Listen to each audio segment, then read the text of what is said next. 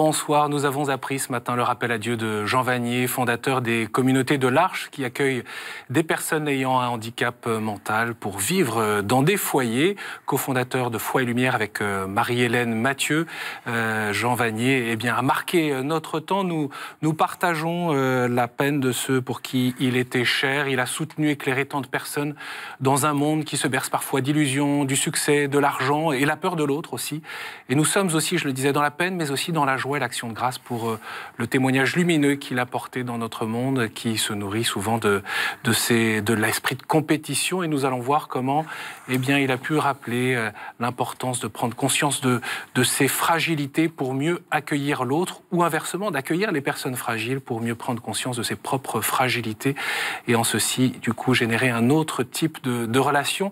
Nous allons entendre tout au long de cette soirée Jean Vanier lui-même, euh, à travers des entretiens qu'il euh, nous a confié ces dernières années. Puis euh, ce soir, nous aurons aussi au cours de cette émission la réaction euh, du pape François qui est rentré de son 29e voyage apostolique dans les Balkans et qui a choisi de parler de Jean Vanier dans l'avion. Et puis sur ce plateau, je présente ceux qui sont avec nous et merci beaucoup d'être là parce que nous allons passer la soirée ensemble Aurélie, vous êtes membre du foyer L'Archipel, l'Arche, à Paris. Vous êtes venu avec euh, Cyril Lelier, qui est également de l'Arche à Paris, mais du foyer euh, Vilm.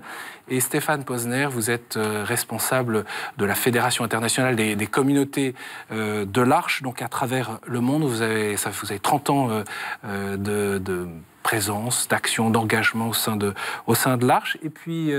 Julie est avec nous, Julie Duchesnay, euh, de Foi et Lumière de, Ville d'Avray.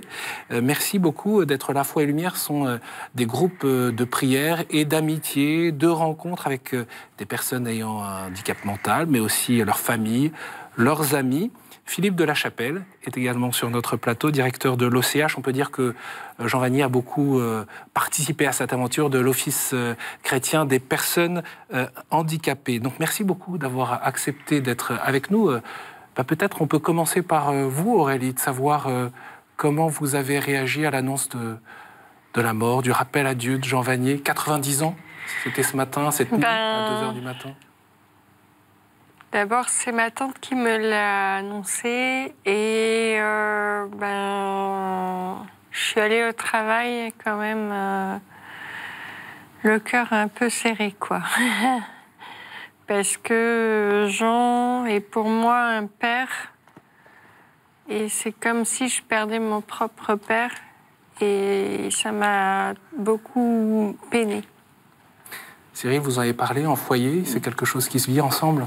Oui, oui. Ben, le, le, but, c'est c'est d'être ensemble dans ce moment-là parce que ben, c'est grâce à Jean qu'on est tous réunis aujourd'hui en foyer. Et euh, donc ce soir, euh, c'est une soirée foyer à l'Arche à Paris. Et euh, donc on, on, est tous réunis pour penser ensemble à lui. Stéphane Écoutez, il se trouve que moi j'étais auprès de Jean hier soir. Donc c'était. Le mot que j'ai le plus souvent employé, c'était doux. Jean est parti très paisiblement. Et voilà, nous étions deux autour de lui. C'était bien comme ça. Et en même temps, vous aviez pu vous préparer parce qu'on savait que j'en allais pas bien. Euh, il y a eu d'abord une crise cardiaque euh, qui l'a beaucoup ralenti, et puis après, euh, il a souffert d'un cancer. Oui. Bon, assez naturellement, on se prépare quand un homme ou une femme a 90 ans. donc oui, et puis c'est vrai que son, sa santé avait décliné ces dernières années, donc on savait qu'il allait partir. Julie, Julie, vous avez souhaité venir avec des photos, mm. photos de Jean on vous voit avec lui. Des moments importants pour vous, euh, Julie? Oui, c'est moi. C'est vous avec Jean, hein? Oui. Jean qui avait euh, cette facilité à, manifester de l'affection?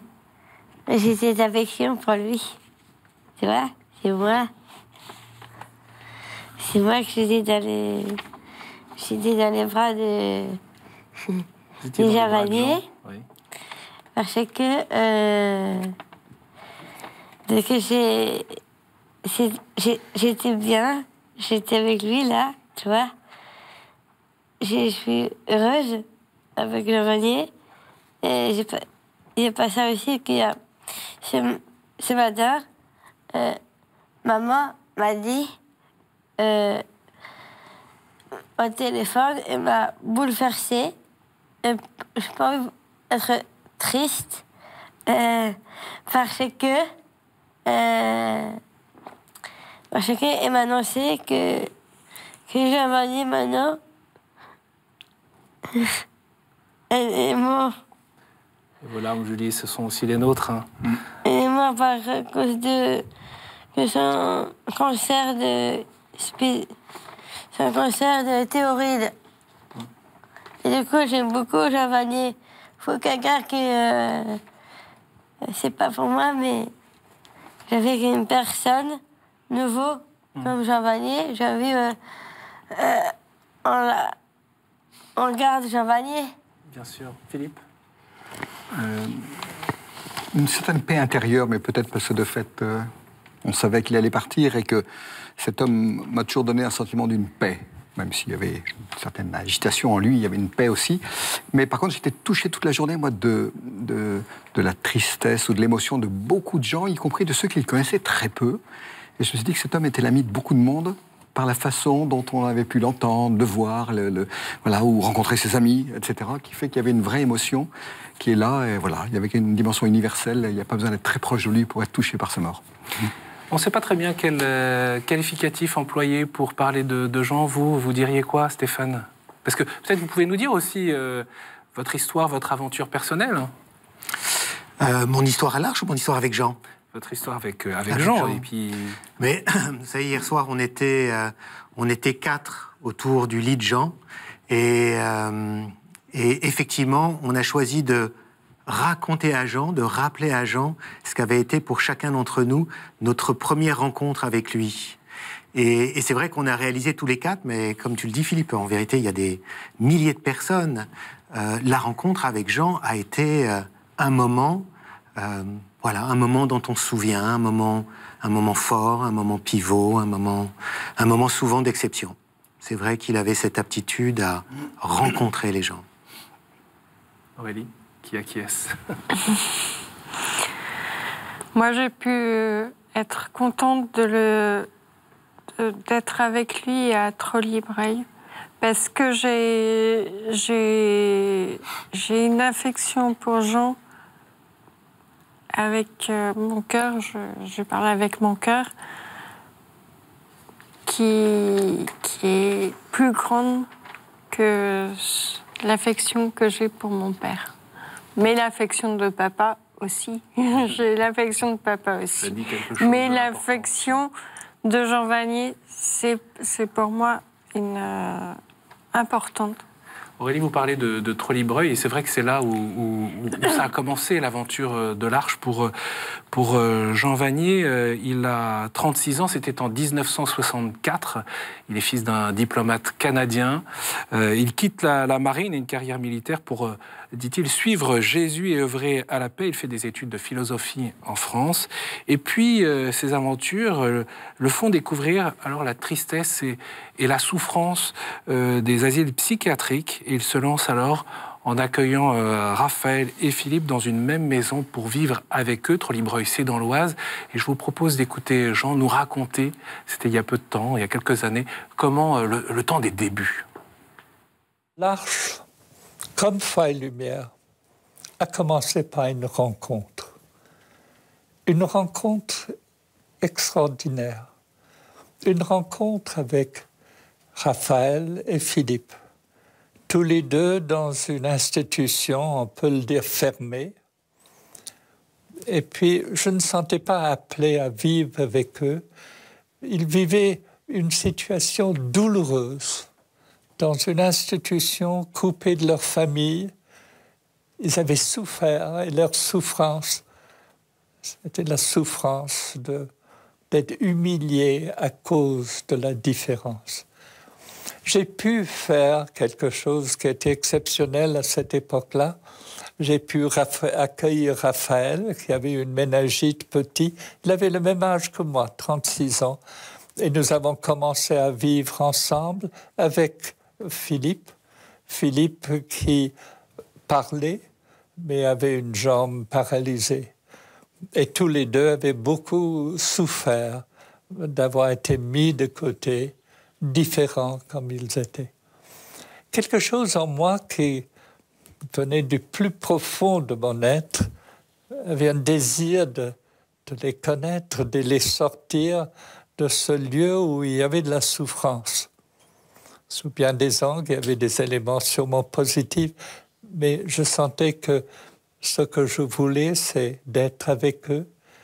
Au fond, c'est l'évangile.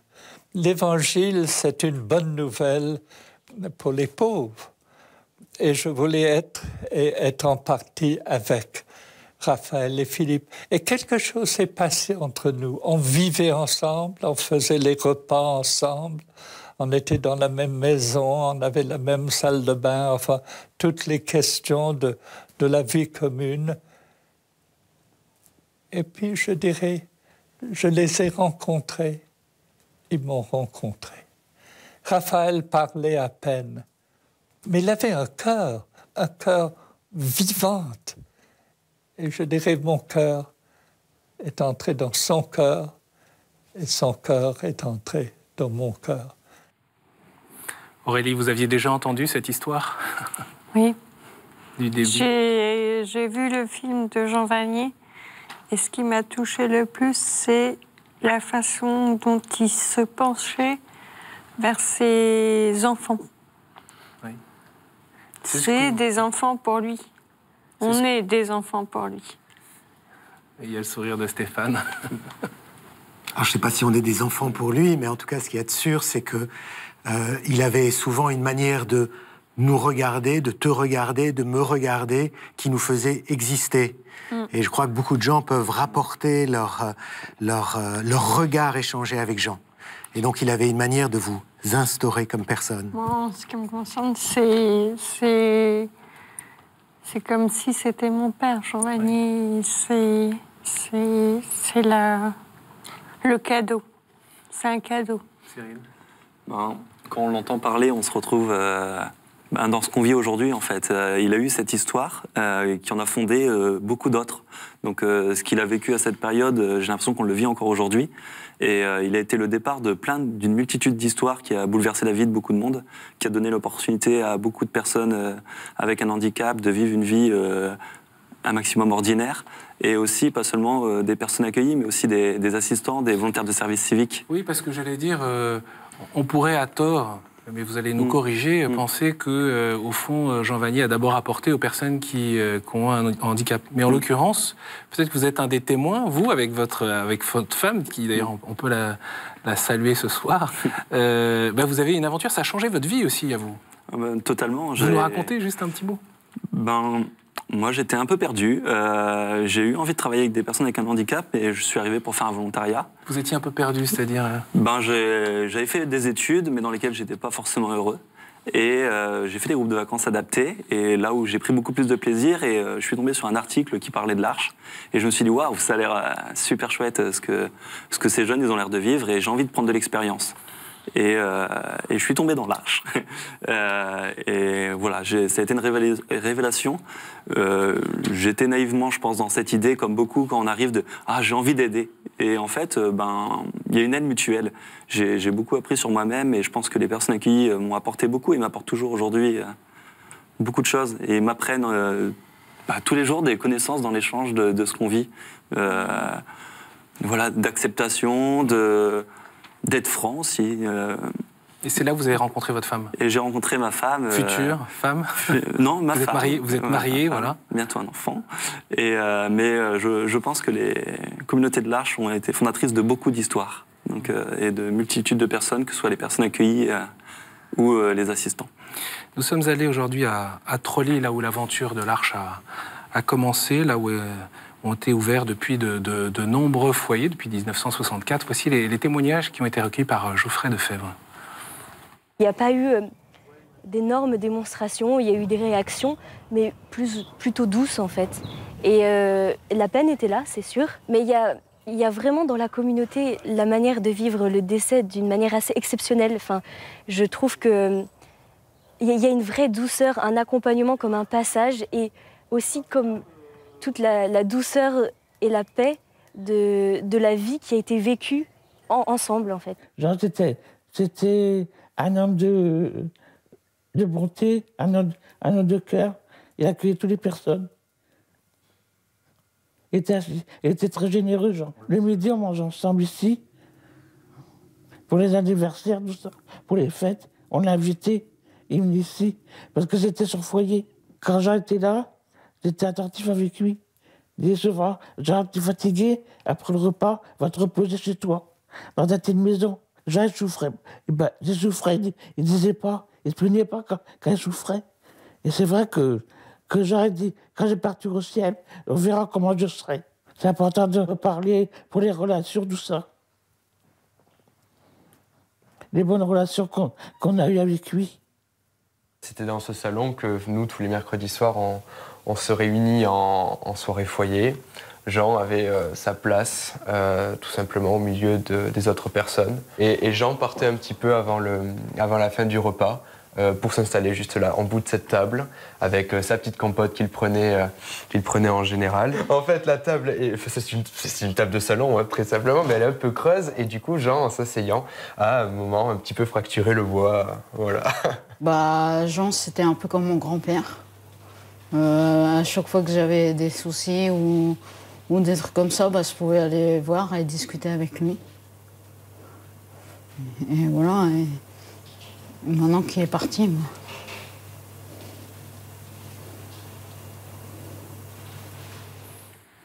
Stéphane, on a envie de vous poser la question, mais au fond, euh, qui est Jean Vanier? Qui était-il? Pourquoi il a autant marqué? Et qu'est-ce que ça a nécessité aussi dans sa vie? Parce que c'est une fidélité hein, d'engagement, de vie. Ben, vous employez le mot de fidélité. Et une des choses que j'ai parfois partagées avec Jean, c'est de lui dire que pour moi, en tout cas, du point de vue de et la fidélité et la liberté, il a été une forme de modèle. C'est-à-dire qu'en général, la fidélité et la liberté, ça tient pas très bien ensemble. Et je crois que cet homme-là était voilà, capable d'être de ce point de vue-là une figure à la fois fidèle et libre. Et, ça, c'est très inspirant. Vous avez parlé de, paix, vous avez parlé de, de toute cette attention aux personnes. Est-ce que c'était quelque chose qui était facile et spontané pour lui? Je ne sais pas si c'était facile de mais il, il, le respirait. Moi, j'ai vraiment un souvenir, par exemple, un jour où il venait rassembler, rejoindre un groupe où il y avait des gens très très importants, dont le préfet d'ailleurs, etc. Et il a passé un temps avec chaque personne. Le préfet faisait partie de ces personnes, mais chaque personne était à ce moment-là unique. Donc il respirait effectivement cette importance accordée à la personne. Euh, et ça, donc, je ne sais pas s'il lui était facile, mais manifestement, c'était, il était pétri de cette attention unique. Et je voudrais juste revenir sur les, les transformations qui ont, on parlait des, qui n'étaient pas que celles des personnes handicapées. Les familles ont, été extrêmement consolées par, Jean René et Marilène Mathieu à travers Foi Lumière notamment. Parce que pour les familles, c'est toujours un tsunami, c'est toujours un drame hein, quand le handicap arrive dans une famille. Et voilà que, et souvent un rejet d'ailleurs, et voilà que Jean, Marilène Mathieu viennent dire celui-ci, il est pas seulement euh, pas exclu, mais il est accueilli, il est reconnu, il est remercié même pour ses dons et ses talents. Donc c'était une vraie, une vraie révolution copernicienne pour ces familles, une consolation, mais que le mot consolation, c'est vraiment quelque chose qui remet debout, quoi, et qui invite à, vivre. Et je pense que Jean et Marie Mathieu, ensemble, avec notamment Foi Lumière, avec le, ont, vraiment Sortir de la honte aussi. Hein. Ah bah oui. Parce que on voit d'ailleurs euh, pour ceux qui la culpabilité. ont regardé des archives, euh, mm. notamment cette, cette, interview sur Radio Canada où, où Jean Vanier parle dans les années 67, je crois, de la honte qui était vécue mm. par, par les familles et comment il fallait les aider à, à dépasser, sortir de, la tristesse. Il a utilisé le mot humiliation en parlant des personnes handicapées tout à l'heure. L'humiliation, elle est aussi chez les familles et de fait sortir de cette humiliation pour découvrir précisément presque l'inverse, c'est-à-dire que, cette, malédiction devienne même une bénédiction. C'est vraiment un lieu où on va trouver une joie, une, vraie joie ensemble. Et l'arche, foi, lumière, tous ces moments de rencontre avec ces personnes sont des moments de joie. Je crois que le, premier passage qu'on a passé là, où il dit euh, Je l'ai rencontré, il m'a rencontré. Mm. C'est-à-dire il y a quelque chose d'une forme de mutualité qui s'instaure. Et ça, euh, ça c'est assez, assez unique. Euh, et c'est une très belle nouvelle. Je vous propose justement sur la rencontre, on sait, Jean Vanier, vous l'avez dit, et on, en prend conscience qu'il a marqué de très nombreuses personnes je veux dire, c'est assez naturel, mais on peut le dire aussi des prêtres, des religieux, des consacrés, des évêques. Je vous propose d'écouter euh, l'archevêque de Rennes. Vous le connaissez bien, Stéphane, puisque euh, Monseigneur Dornelas accompagne euh, l'arche. voilà ce qu'il a voulu nous, partager aujourd'hui, sa première rencontre avec Jean Vanier. Je me souviens, la première fois que je suis allé à Trolly, c'était avec une amie Nathalie, personne handicapée mentale, autiste profonde, et j'ai été très impressionné, bouleversé de percevoir la manière avec laquelle ce grand monsieur que je ne connaissais pas, qui s'appelait Jean, que tout, le monde appelait Jean, euh, entrait en relation avec elle. La manière dont il établissait la relation. Et cette relation m'a montré, m'a montré euh, de façon presque instinctive, sans discours, euh, que Nathalie était une grande personne, une belle personne. Après ça, évidemment, euh, je garde en mémoire cette phrase hein, que Jean Vanier disait souvent Tu es plus beau que tu ne penses. Alors merci nos confrères de RCF Alpha et le diocèse de Rennes pour d'avoir requis cette réaction. Julie, c'est important d'entendre Jean Vanier dire vous êtes une belle personne, vous êtes une grande personne, comme l'a dit à l'instant Monseigneur Dornelas. Oui. Je suis heureuse, c'est ça? Oui, ça procure de la joie La joie, mais pas mal, malheureuse pour Jean Vanier quand même. Hmm. Et c'est important euh, ce que Jean, la relation qu'il a su établir avec, euh, avec toutes les personnes Oui, et les, toutes les personnes avec euh, Jean Vanier, j'aime beaucoup. Et avec moi, les personnes qui sont avec moi, qui habitent avec moi, hmm. et tous mes copines qui aiment beaucoup Jean Vanier. Parce que vous habitez dans un foyer. Hein, oui. Euh, Julie. Et euh, vous ne l'avez pas dit, mais pour vous, il y, a des dates qui sont importantes. L'anniversaire de Jean Vanier, c'est une date importante aussi pour vous. Oui, j'aime beaucoup Jean Vanier. J'ai toujours, pour son anniversaire, j'étais réunie à, à là, avant. Mes parents, mes parents sont, tous euh, avec moi. Euh, à chaque fois, je rencontre euh, le pèlerinage de Foi Lumière. Oui, où, Jean Vanier était présent très souvent. Oui. Jean Vanier est toujours présent avec moi pour dire que à chaque année, après les grandes vacances de l'été, après le mois d'août et le mois de septembre, à chaque année, en septembre, le 10 septembre. C'est toujours son anniversaire, je pense toujours à lui. 10 septembre, l'anniversaire de Jean Vanier. Merci Julie de, rappeler cette, euh, cette date. Alors je l'évoquais en, début d'émission, euh, le pape François, euh, vous l'avez peut-être suivi sur notre antenne, a, a, marché sur les pas de Mère Teresa aujourd'hui. Il était en voyage apostolique en Macédoine, à Skopje. Il a souhaité réagir dans l'avion du retour sur Jean Vanier au moment de, de, de sa mort, en ayant appris sa mort. Et il a souhaité donc confier ces quelques mots avant de commencer sa conférence de presse dans l'avion. Je vous propose de l'écouter. Sì, io ero al tanto della malattia di Jean Vanier. La sora Geneviève Chanigros mi teneva al tanto. Una settimana fa io l'ho chiamato al telefono. Lui mi ha ascoltato, ma appena poteva parlare. Io vorrei esprimere la mia gratitudine per questa testimonianza. Un uomo che ha saputo leggere la efficienza cristiana dal mistero della morte, della croce, della malattia, dal mistero di coloro che sono disprezzati e scartati nel mondo.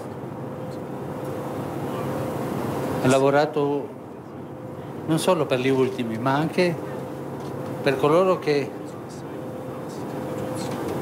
prima di nascere c'è la possibilità di condannarli a morte. Ha spento sua vita così. Semplicemente grazie a lui e grazie a Dio per averci dato quest'uomo con una grande testimonianza. Voilà, action de grâce euh, du pape François pour euh, la vie et le témoignage de Jean Vanier. Euh, Stéphane, vous découvrez cette réaction du, pape François. Oui, je vous dirais que je ne suis pas très surpris. Il parle d'un grand témoignage, on pourrait parler d'un grand homme. Et je crois que ce qui faisait la grandeur de cet homme, c'est que c'était un homme et qu'il voilà qu'il qu'il qu'il aidait, qu'il faisait que chacun pouvait se sentir homme ou femme reconnu. Et quand il disait tu es plus beau que tu n'oses le croire, je crois que dans le fond il disait quelque chose qui nous est très difficilement accessible, que nous soyons chacun beaux. Et il y a quelque chose comme une audace, il faut oser le croire. Et ça, ça c'est un long chemin. Voilà, réaction recueillie par euh, nos envoyés spéciaux Philippine de Saint-Pierre et Alec Bonneton dans, dans, cet avion de retour de, de Skopje. Philippe, vous souhaitiez oui, dire quelque J'ai chose? bien aimé le terme témoignage, parce que de fait, Jean, en tout cas pour moi et pour beaucoup de gens, c'est un témoin plus qu'un modèle, un témoin au sens où il indique un chemin, et ce chemin, à chacun de nous de le vivre à notre manière, dans cette expérience de rencontre, d'amitié qui est celle sur laquelle on est conduit, et chacune de nos histoires sont singulières, mais dans chacune d'entre elles, ce sera l'expérience qu'effectivement, on peut se laisser aimer tel que nous sommes, et qu'on peut s'aimer les uns les autres tel que nous sommes, et que de fait, finalement, on est assez beaux les uns les autres. On est assez beaux. Oui, on peut se le dire. Et ça, ça nous fait du bien. Créé à l'image de Dieu. Oui, à l'image de Dieu, mais il, il, disait souvent une chose qui, euh, moi, m'avait toujours frappé. Il parlait du, du droit d'être moche. Et euh, pour moi, qui était comme une permission d'être soi. Parce que peut-être que pour être beau, en fait, il faut pouvoir reconnaître et d'une certaine manière intégrer qu'il y a aussi du moche et que ça va. Ça fait aussi partie de ce que nous sommes. Et donc il y avait quelque chose de reconnaître la personne dans sa totalité et pas seulement dans sa brillance. Et je pense que c'est ça qui nous fait euh, tenir debout. On a vu au début de, l'année d'autres images de Trolli, parce que là, tout à l'heure, on était à Trolli, euh, chez nos confrères d'Arte, notamment dans ce documentaire sur euh, les euh, abus envers les religieuses dans l'Église. Et dans cette enquête, il y a des accusations d'abus sexuels, d'abus spirituels concernant le père Thomas Philippe, dominicain, qui fut présent, accompagné à l'Arche. Il fut le, père de Jean Vanier, il est mort en 1993. Est-ce que Jean on a su quelque chose? Qu'a-t-il su? Quand l'aurait-il su? Et puis, euh, j'imagine, ce sont des questions que vous posez, vous, à l'Arche, Stéphane? Oui, oui c'est des questions qui se, qui se posent.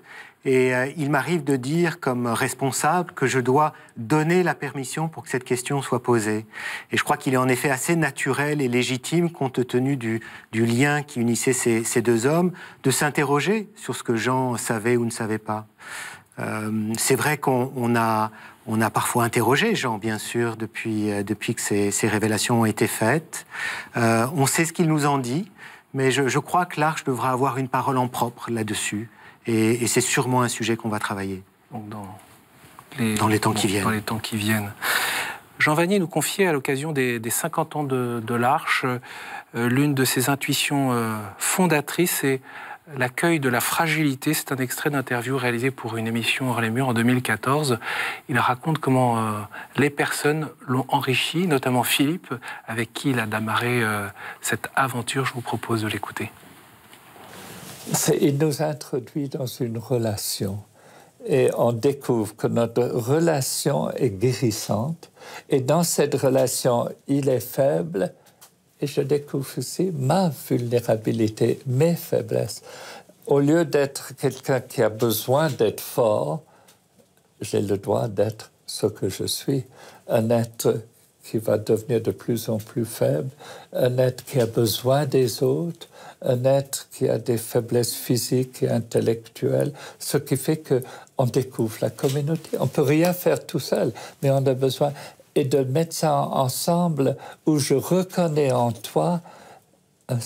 Il y a c'est Athanagoras qui dit la, j'ai dû lutter, j'ai eu la guerre la plus difficile, la guerre contre moi-même, où je veux avoir les raisons, je veux être mieux que les autres, de découvrir qu'il faut lutter contre soi pour découvrir que je suis un pauvre, que j'ai besoin de toi, j'ai besoin des autres, et nous sommes tous comme ça. Et à ce moment-là, on est en train de découvrir ensemble des choses.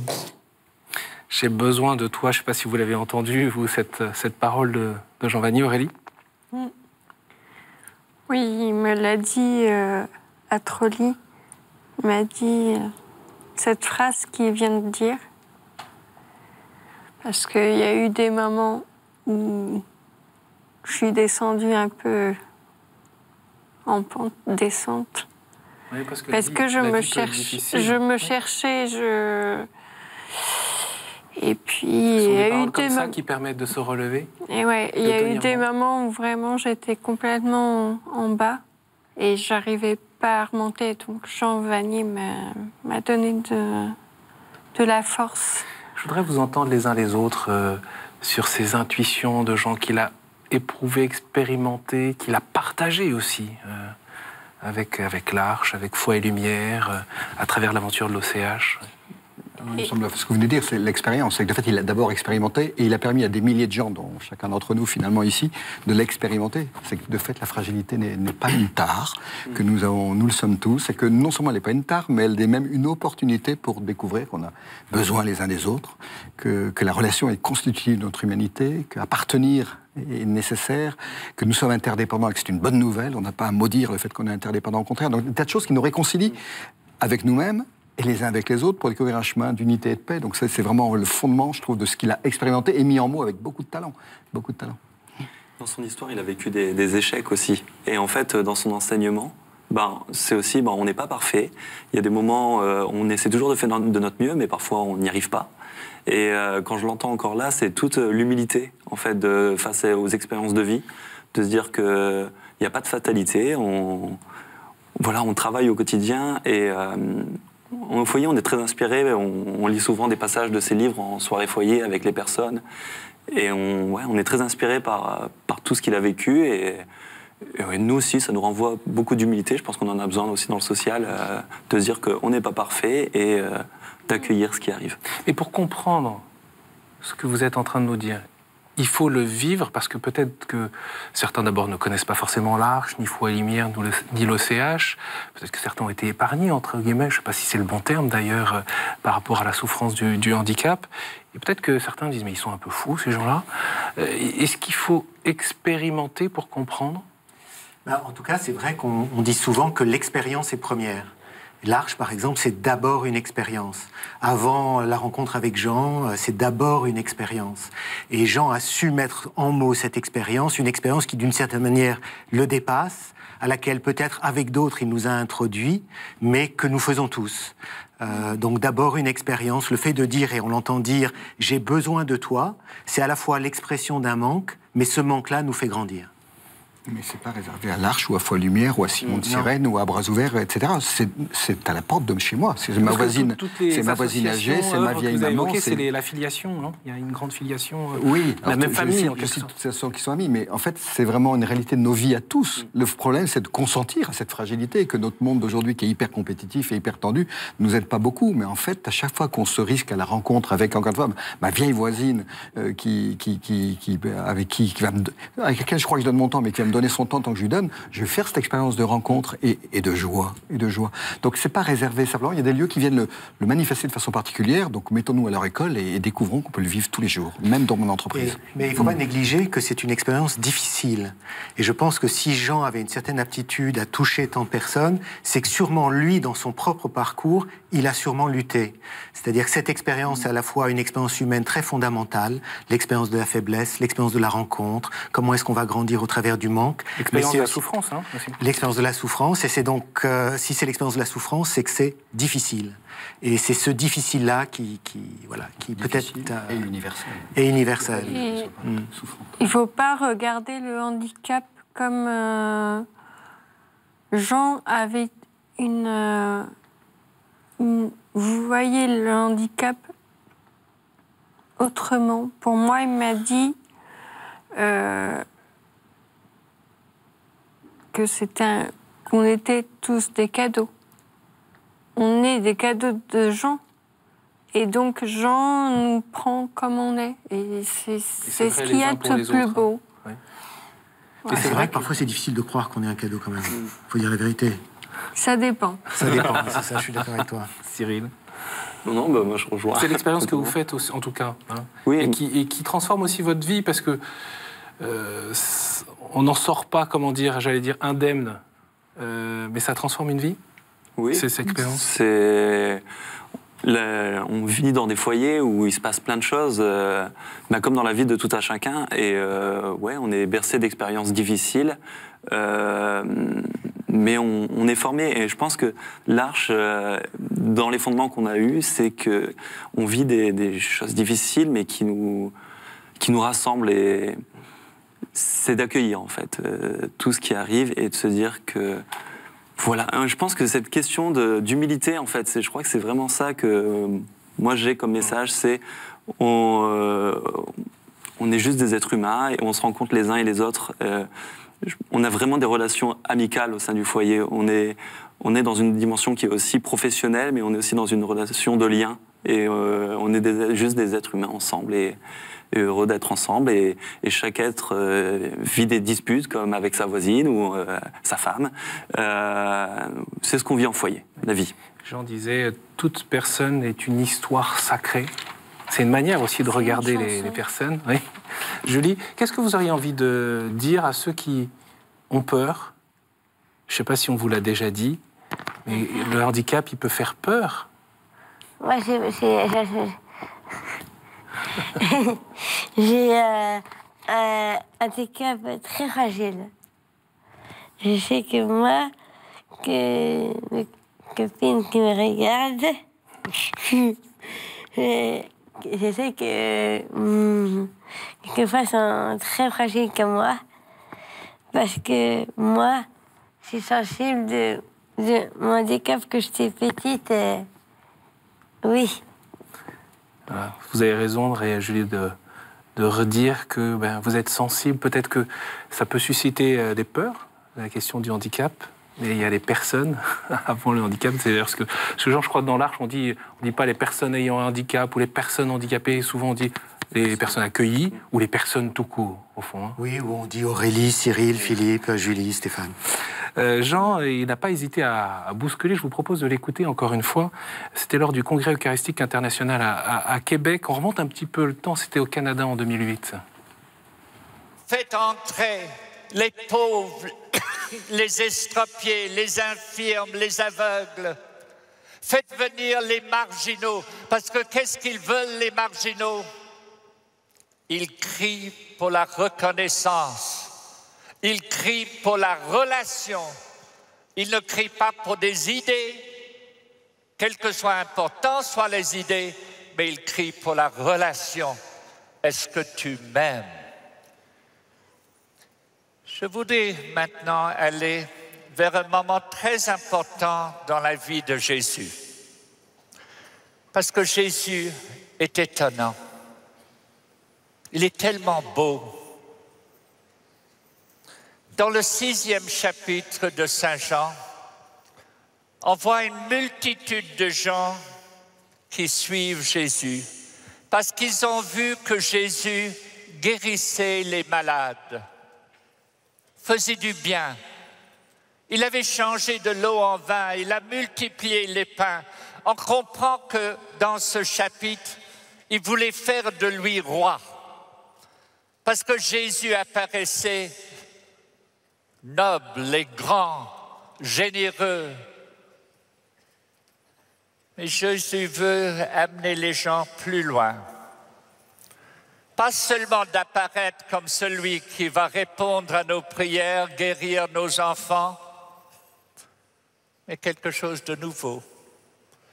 Il va nous entraîner à découvrir que si je mange son corps et bois son, son sang, si je découvre cette présence réelle, je vais demeurer en Jésus et Jésus va demeurer en moi. De découvrir que l'Eucharistie, c'est une invitation à devenir l'ami de Jésus. Mais devenir un ami de Jésus, demeurer en lui et lui demeurer en moi, c'est une transformation constante. Je mange le corps de Jésus pour devenir comme Jésus. Et si je suis appelé à devenir comme Jésus,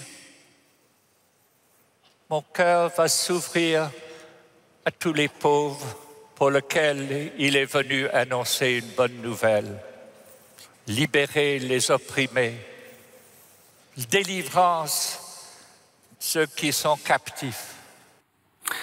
Voilà Jean Vanier qui euh, n'a eu de cesse au fond de révéler quelle était la source euh, de cette relation d'amour qu'il voulait entretenir avec les uns les autres et cette expérience dans laquelle il voulait faire rentrer tant et tant de personnes? Oui, euh, à la fois la source, c'est-à-dire un lieu très très singulier, et en même temps universel. Là, on entend Jean s'exprimer sur l'Eucharistie, et vous savez sans doute que l'Arche a été fondée euh, dans un contexte chrétien, catholique, et progressivement, avec le temps, l'Arche est ouverte à des gens de sensibilités très diverses. Euh, il y a bien sûr des gens de, de, différentes confessions chrétiennes, il y a des représentants d'autres religions. Moi-même, je ne suis pas chrétien, je suis juif, et il y a dans nos communautés des croyants et des non-croyants. Donc à la fois quelque chose de très ancré, et quelque chose de très ouvert. Et je crois que ça aussi, ça fait partie de ce que Jean nous lègue. Oui, toute personne, encore une fois, est une histoire sacrée, Philippe Oui, enfin, l'ami de Jésus, c'est un mot qu'on a souvent entendu Jean dire lui-même, beaucoup pour lui-même, son désir d'être l'ami de Jésus avant tout.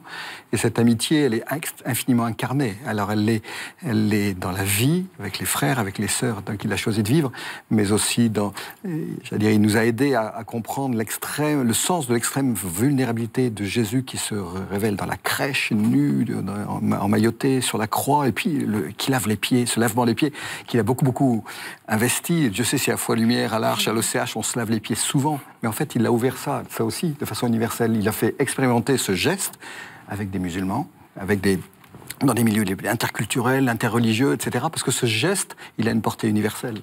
Celui de se dire combien nous sommes les uns les autres faits pour nous mettre au service les uns des autres. Et que ça, c'est le chemin de paix. Il n'y aura pas de paix si on se met, c'est pas se mettre finalement au pied les uns des autres pour se laver les pieds. C'est avoir conscience du coup de son enracinement chrétien dans sa foi et en même temps Peut-être euh, ce que j'entends dans votre propos, Stéphane, c'est aussi euh, attention pour les catholiques de ne pas vouloir le, le garder captif euh, parce que son témoignage, il s'adresse à tout le monde. Mais c'est ce qui faisait, je crois, une des, une des beautés de Jean, c'est que c'était à la fois un, un, homme très ancré dans l'Église, mais et donc très fidèle à l'Église, et en même temps très libre. Euh, et, et c'est, je crois, c'est ce qui a permis à l'Arche d'être ce qu'elle est aujourd'hui. Euh, c'est une dimension qui est la dimension spirituelle, qui est une des dimensions les plus, les plus profondes, les plus belles de l'Arche, parfois les plus complexes et les plus difficiles, euh, et qui est toujours très incarnée. Parce que ce sont des gens.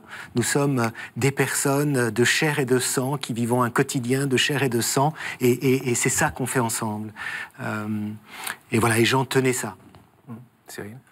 Je suis moi-même athée, donc c'était euh, aussi particulier pour moi en arrivant à l'Arche. Et euh, c'est vrai qu'il y a eu un tel accueil et on m'a jamais fait sentir tu es différent parce que tu es athée. Et euh, non, parce que ça aurait été paradoxal si on dit que justement il faut regarder chacun. Mais ça peut être une inquiétude quand on arrive de l'extérieur. Et, euh, et, personnellement, ça m'a vraiment réconcilié avec la religion catholique, mais euh, mais je vis pleinement la, le côté spirituel de l'Arche où on a vraiment des temps ensemble qui sont dans l'acceptation, comme, disait Stéphane, de voilà de la foi de chacun et, euh, on sent que ça nous apporte beaucoup. Euh, on, est, mardi et le mardi soir euh, à l'Arche à Paris, c'est la soirée euh, foyer. Et c'est un temps où on, se retrouve tous ensemble.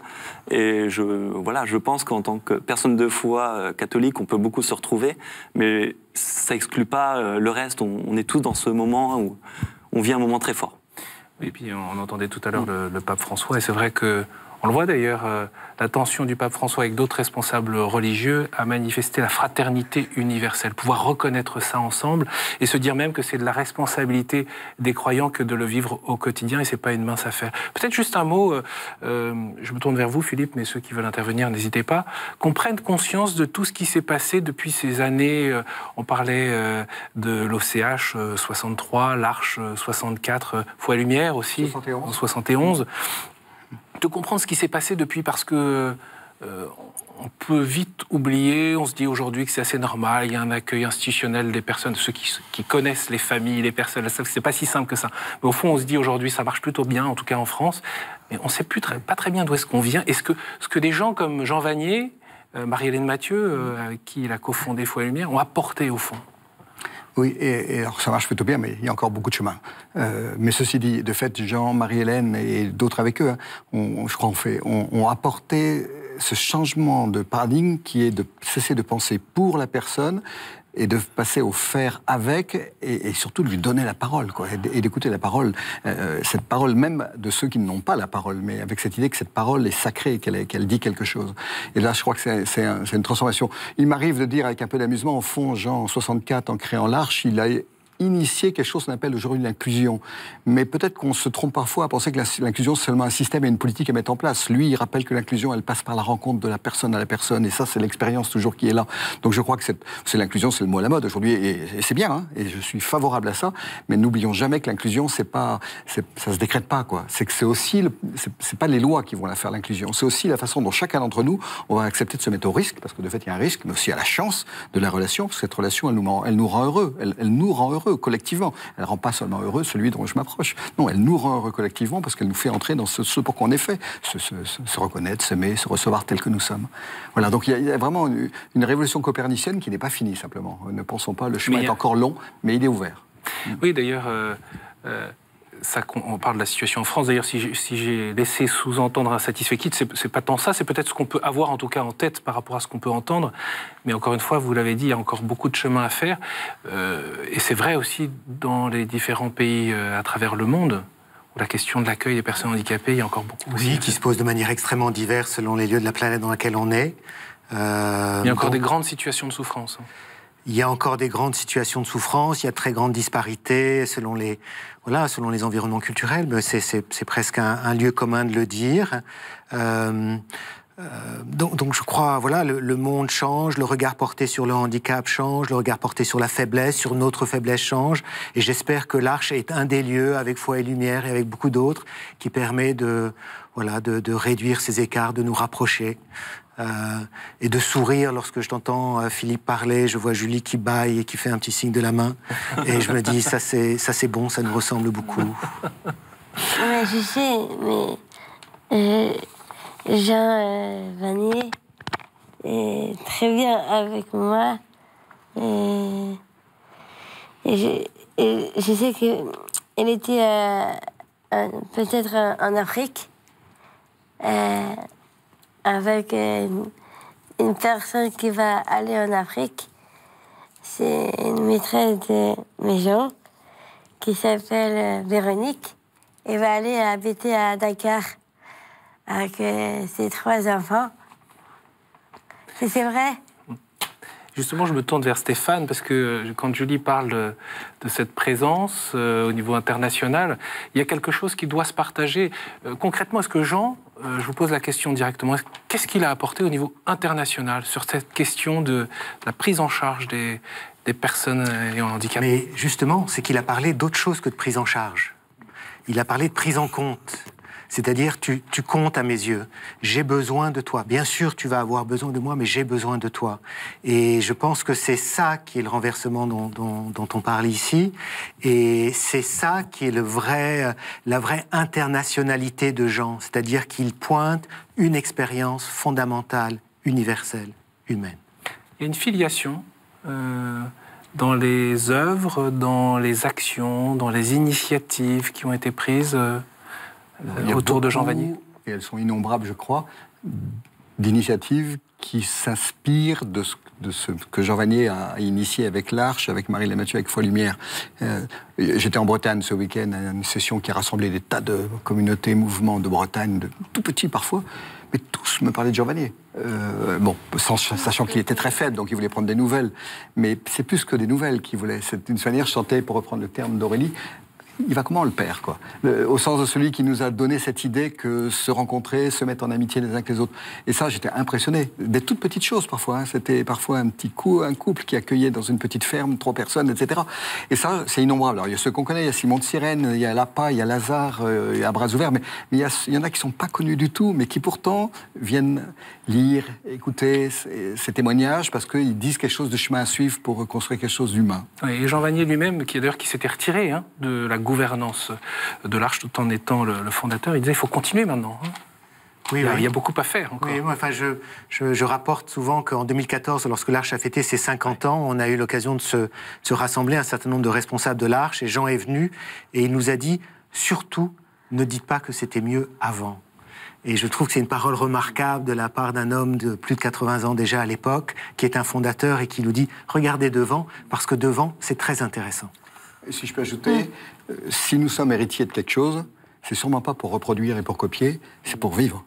C'est pour, euh, dire, se, convertir à cette réalité, parce qu'en fait, on n'aura jamais fini. Hein. Quand on disait tout à l'heure, ça va mieux, mais je pense qu'on sera toujours dans ce combat de se mettre au risque de la rencontre avec l'autre, notamment l'autre quand il est un peu différent de moi. Ça, c'est un chemin que nous avons le devoir de continuer, mais pas en reproduisant, en, convertissant. Voilà, tu emploies le mot combat, on a plusieurs fois dit difficile. Euh, je crois qu'il faut faire attention de ne pas idéaliser ni l'Arche, ni Jean.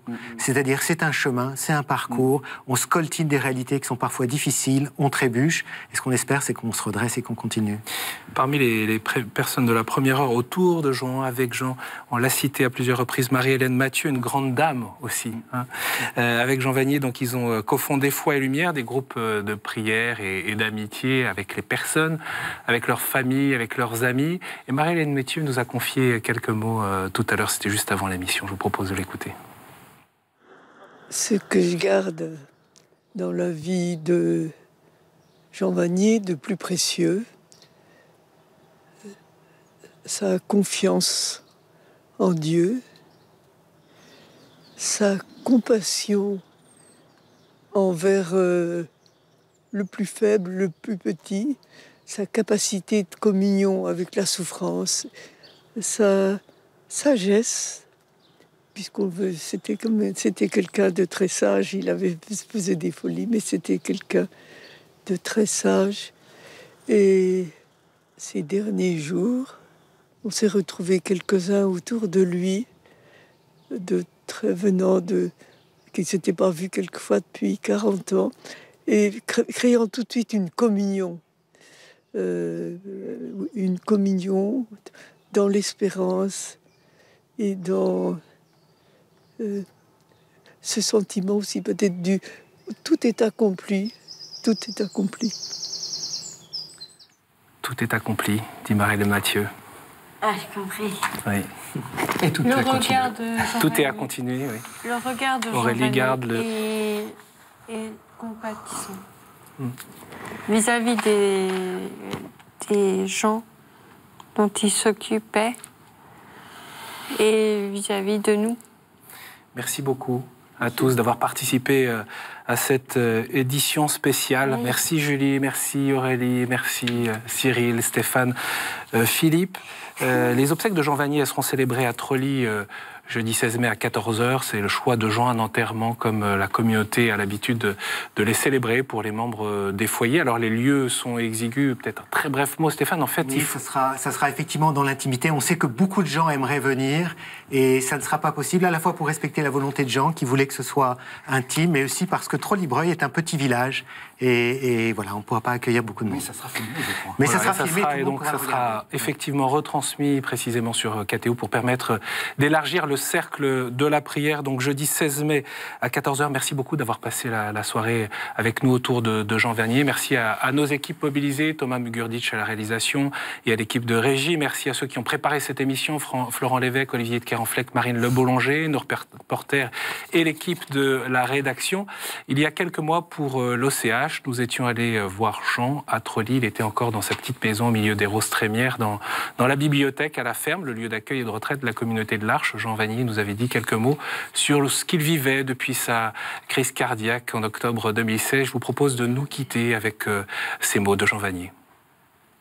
Tout ce que je peux dire, c'est merci. Merci à Jésus, merci à tant de personnes merveilleuse, foi et lumière, l'arche et tant d'autres. La vie est quand même belle.